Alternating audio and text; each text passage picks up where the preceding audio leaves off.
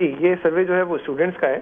आ, ये एक trekking study है जो कि गुजशत पंद्रह साल में मुहित है ये सर्वे सबसे पहले 2003 में हुआ फिर 2008 में हुआ फिर 2013 और 2018 के अंदर। इस तरह पाँच पाँच साल के वक्फे के बाद स्टूडेंट्स को चेक किया जाता है। जो ट्रैकिंग स्टडीज़ है उसका तरीकाकार ये होता है कि सवालनामा हमेशा एक ही रहता है। सिलेक्शन क्राइटेरिया एक ही रहता है रिस्पोंडेंट चेंज हो सकता है।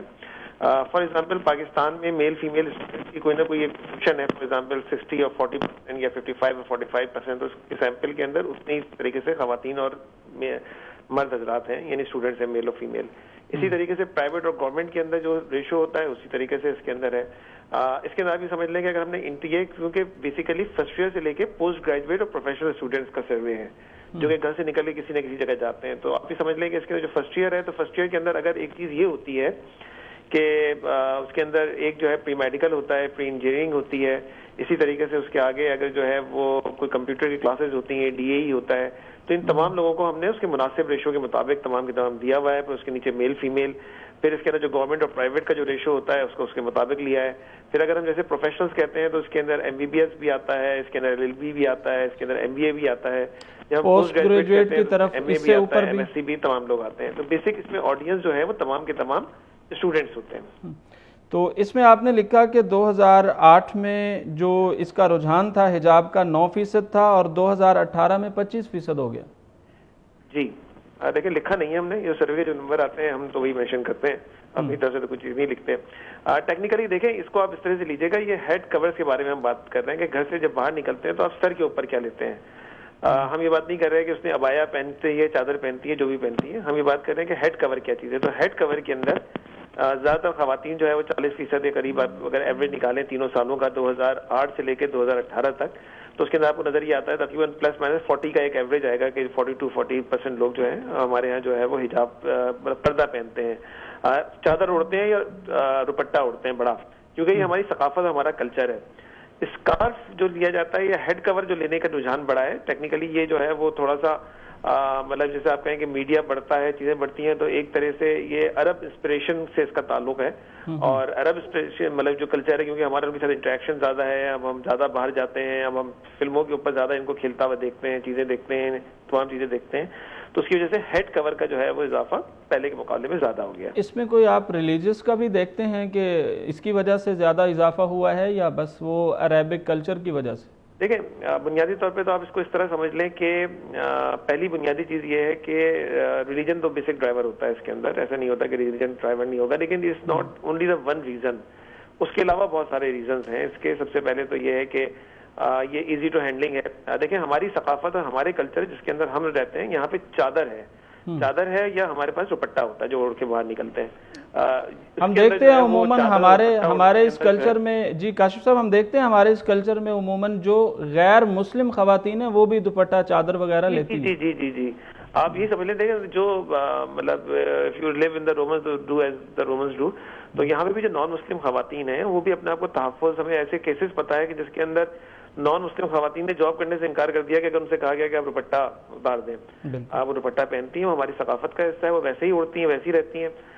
चादर वैसे ही उड़ती हैं जैसे हैं। जहाँ तक ये स्कार्फ का ताल्लुक है तो उसका एक वजह जैसे मैंने आपसे कहा कि दुपट्टा और चादर की हैंडलिंग मुश्किल होती है जरा से ना उड़ने के अंदर। हम्म, हम्म। ये जो है वो स्कार्फ जो है ज़्यादा आसानी के साथ पहन लिया जाता है चीज़ें हो जाती हैं। दूसरा उसके साथ अगर आप चलें तो इसकी दूसरी अहमियत जो है वो ये है कि जरा सन ब्लॉकर के तौर पे भी इस्तेमाल होता है। मतलब ये कि अगर आप इसको ओढ़ लेते हैं और कॉलेज यूनिवर्सिटी में धूप में इधर उधर जाना होता है तो उसके साथ सेफ्टी उनको फील होती है। आ, तीसरा ये है कि इसके अंदर एक मॉडर्न लुक नज़र आती है लोग उसको कंजर्वेटिव नहीं समझते। बहरहाल एक अंडरलाइन डिज़ायर ऑफ़ सिक्योरिटी तो मौजूद होती है उसके अंदर आप कोई चीज़ उड़ते हैं तो आपको एक सिक्योरिटी की फीलिंग आती है और तमाम चीज़ें आती हैं। तो ये चीज़ यहाँ पे मौजूद है अलहमदिल्ला अच्छा कहीं खातन में या स्टूडेंट्स में तालिबात में आपको ये तहफ़ात भी उनके महसूस हुए कि जिस तरह से कोई नोटिफिकेशन आता है ख़वान को बच्चियों को ये कहा जाता है कि वो हिजाब पहन के आएँ स्कूल में चादर लेके आएँ। फिर वो नोटिफिकेशन वापस हो जाते हैं। कोई मज़हब की बुनियाद पर कहीं कोई तशवीश महसूस हुई आपको? नहीं ये हमारा मौजू नहीं था हमारे यहाँ। सर्वे का ज़रूरत है ये सर्वे उससे पहले हुआ है।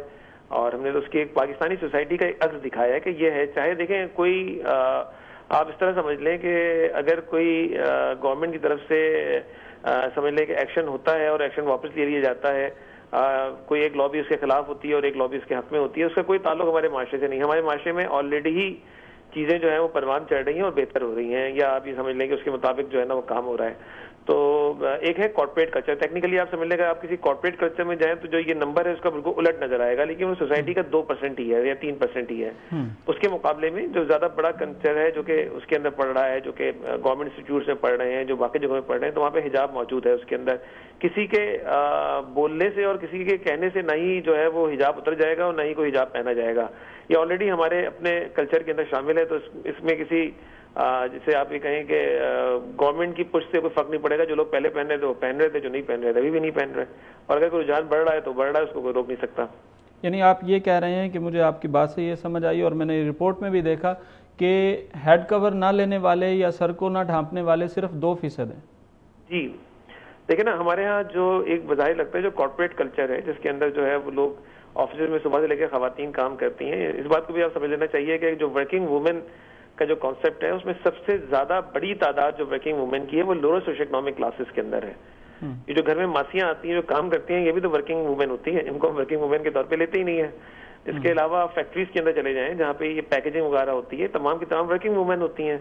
ये सब के सब काम कर रही होती हैं वहाँ पे उसके अंदर कर रही होती हैं। उसके आगे आप अगर स्कूल में चले जाएँ तो स्कूल्स के अंदर सबसे बड़ी जो वर्किंग फोर्स है वो तमाम की तमाम खातन की है। उसके अंदर मर्द साजा कम होते हैं खातन ज़्यादा होती हैं। तो तमाम एरियाज़ जहाँ पे खातन काम कर रही हैं वो बहुत डिफरेंट है। और जो जिस जिन जिस दुनिया से हमें पाला पड़ता है वो बिल्कुल अलग दुनिया है। वो दो ढाई तीन परसेंट की दुनिया है वो एक खास किस्म के एजुकेशन इंस्टीट्यूट से पढ़ के आती है और उसके कल्चर को अपनाती है।